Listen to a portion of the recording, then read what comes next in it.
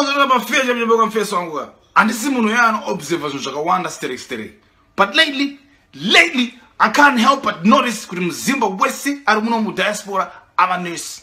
Muzimba wese ava nurse. Yes yes muzimba wese ava nurse. Mfesi wangu toka mafeja mchepe ka. Ko isusu matsotsi isusu ndiana chatisevha isusu kana ndasungwa mfesi wangu?